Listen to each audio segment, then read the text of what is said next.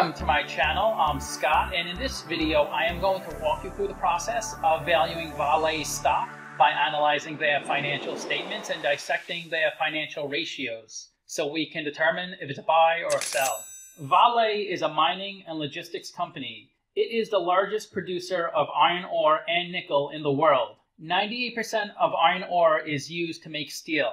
Steel is used in many things such as roads, bridges, medicine, auto parts, etc. The Evergrande crisis will really hurt this company since China imports 75% of the world's iron ore. We're going to talk more about this later when we value the company. Nickel is used to resist corrosion and it's used to plate other metals to protect them. It is a very important material for the batteries that are used in electric vehicles. It is also used in kitchen products, mobile phones, medical equipment, buildings, and jewelry. The company also produces manganese, ferroalloys, copper, bauxite, potash, kaolin, and cobalt. It operates nine hydroelectricity plants and a large network of railroads, ships, and ports used to transport its products. The company uses its massive Valemax vessel to ship products across the ocean. By doing all the shipping, it increases its margins by not sharing any of the profit with the middleman. The company is headquartered in Rio, Brazil, and was founded in 1942. It started trading in 93 and can be found on the New York Stock Exchange, Spanish Bolsa, Sao Paulo, Mexican Bolsa, Deutsche Börse, Buenos Aires, and London Stock Exchange. Let's get started with the model. This is a large cap company, 72 billion market cap. They're trading at 14.49 a share, and they have 5 billion shares outstanding. Let's look at their financials. The way you value a company is you estimate the free cash flows into the future and then you discount those numbers back to today's value. That's what we're doing in this video. And free cash flow is cash flow from operations minus capital expenditures. So you can see their free cash flow is really high, over $9 billion in 2018 and almost $10 billion in 2020. When they had 10 billion of free cash flow in 2020, I thought that was amazing and now it's up to over 21 billion. That is just unreal. Free cash flow is the cash that's remaining after paying all of your expenses and investing back into your business. So it's the cash that's left over for you, the investor. A free cash flow margin over 9% is considered amazing. Free cash flow margin is free cash flow over market cap.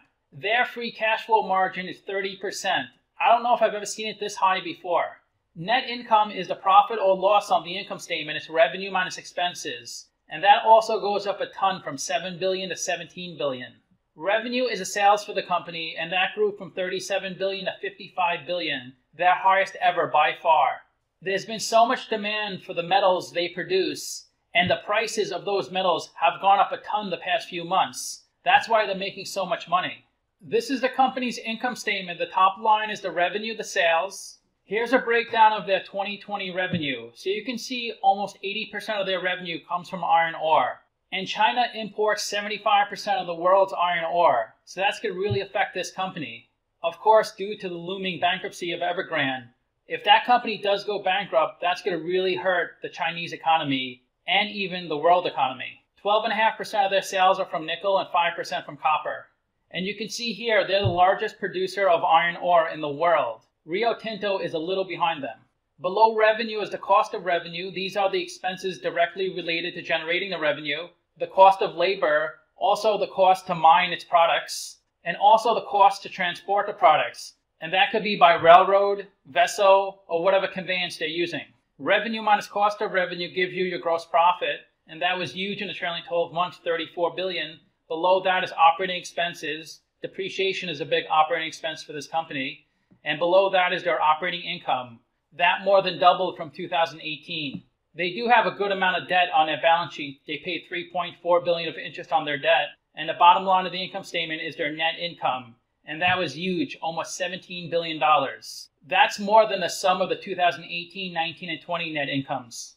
This is the company's statement of cash flows. The top line is operating cash flow. That's how much cash is remaining after operating a business. And they had 26 billion of operational cash flow. They do invest about four to four and a half billion a year in capex. Operating cash flow minus capex gives you your free cash flow, and that's the cash that's remaining for you, the investor. So they can use that money to pay a dividend, buy back stock. They bought back two billion in the trailing 12 months, or to pay down debt. Let's look at the capital structure: 42 billion of equity, 19 billion of debt. They're 69% equity, 31% debt. Their net debt is 4 billion, so they have a lot of cash on their balance sheet. And their weighted average cost of capital is 10.5%, and that's a discount rate we're going to apply to the future cash flows. We estimated four years of future free cash flows. We also estimated terminal value, which is all cash flows past year four, that's 108 billion. We discounted those numbers back to today using the weighted average cost of capital. We get a value of the company of 107 billion dollars. We divide that by 5 billion shares and we get a calculated stock price of 21.48. They're trading at 14.49, so they're trading at a 33% discount. It's a buy according to the model.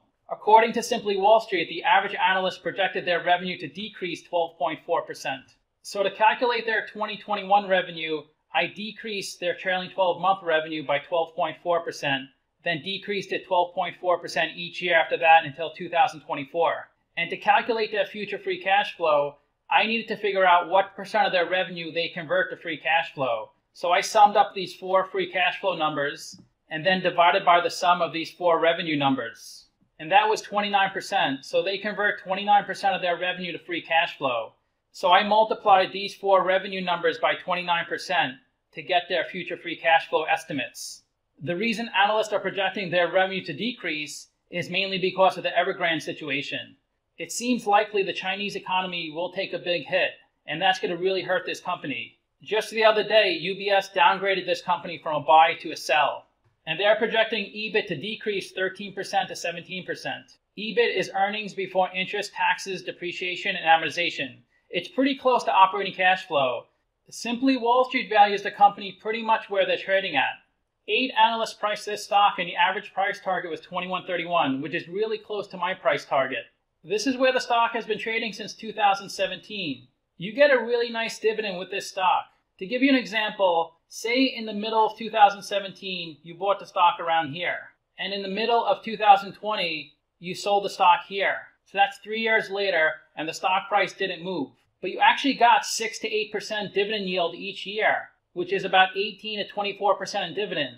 When you look at the historical stock price for a company that pays a high dividend, it's not too volatile, the stock. Since they pay out a lot of the profits out as dividends, it keeps the stock pretty steady. For instance, if it didn't pay any dividends, you would see the stock price shoot way up. But you can see it was fairly steady for three years. But if you bought it anytime around here, you got all those dividends. And then if you held up here, not only did you get all those nice dividends, but you also got really good stock appreciation. So you won on both ends with this company. Hopefully you sold it up here because with the whole China fiasco, there's been a huge sell off and the stock came way down. And who knows how low it's going to go. I have a feeling it's going to hit about 8 or $9, which was the resistance point in the first quarter of 2020.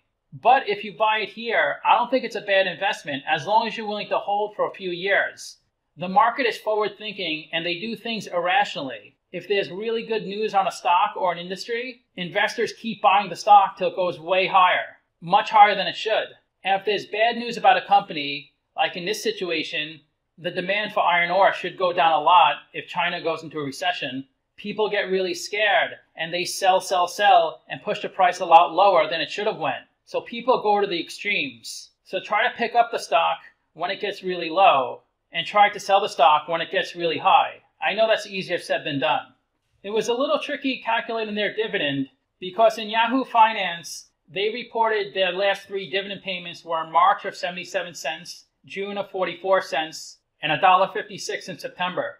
You can see how much more the September dividend was than the prior dividends. This is called a special dividend. A special dividend is paid one time and it's not recurring, so you can't expect this $1.56 in the future. Not many companies pay special dividends, and even fewer companies pay more than one in their lifetime. It's usually the result of an excess amount of cash. Like, for instance, if a company won a huge lawsuit and won like $100 billion, they may give a special dividend to the investors since they have so much cash that came in. In Vale's case, their earnings were through the roof, so they had so much extra free cash flow, so that's why they paid a special extra dividend. So to calculate their dividend yield, I pulled out $1 from the special dividend, and I assumed they would have paid 56 cents because last September they paid 46 cents. So I calculated 12.16% dividend yield. And that's with stripping out a dollar.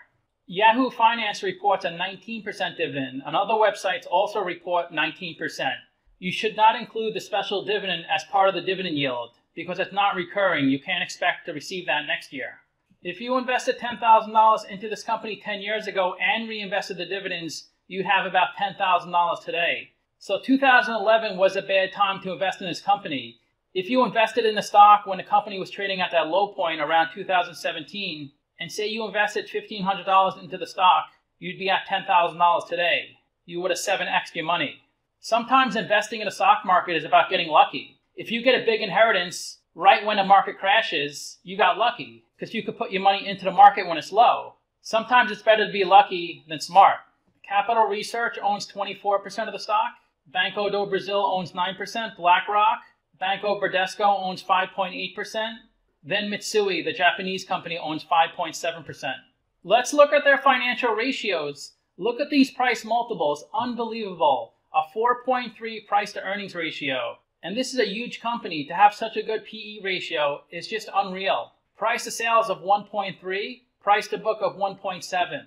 These ratios are so good, not just because their stock price has come down in the past couple of weeks, it's because their financials are unbelievable. They have a return on invested capital of 54%. They can cover their interest payments over nine times. They have an ROE of 40%. Unbelievable ratios. They have a good current ratio at 1.8, a good quick ratio at 1.4, and they have 15 billion of cash on their balance sheet, 5.6 billion of receivables, and 4.7 billion of inventory. So they're more than well capitalized. They generated over 21 billion of free cash flow in the trailing 12 months. They have over 11 billion of working capital, and they paid out 9 billion in dividend payments. So they have almost 24 billion dollars of funding. The best way to look at ratios to compare them to companies in the same industry. I've done videos of 9 companies in the same industry as Vale, and if Vale has a number in red, they're worse than the average. If they have a number in blue, they're better than the average. They have amazing price multiples. They're much better than average in PE, price to sales, and price to book.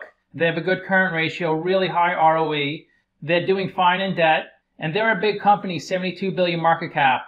The biggest is BHP, the second biggest is Rio Tinto, and they pay the largest dividend by far. To summarize, I have them trading at a 33% discount, but I still think this stock price will come down more because people tend to panic sell. Because people are talking more and more about the Evergrande situation. And it doesn't matter what the result is, it could be really bad or it could be not so bad. The stock price will go down mainly due to panic selling. But you don't want to wait too long because nobody knows when the bottom is. And if you wait too long, say your price point is $10 and it goes down to 10.50 and then shoots way back up to $20, $30 over the next couple of years. You will be annoyed that you missed out on all that upside. But for a long-term play, this is a great company and precious metals are getting more and more important these days, especially with electric vehicles and other green initiatives. I rank their free cash flows, revenue, and ratios 10 out of 10. This is the first time I gave a company all tens. So let me know what you think. Give this video a like, subscribe, or comment below. If you want to get a custom valuation or just support the channel, you can become a member by clicking on the link in description below. Thanks for watching.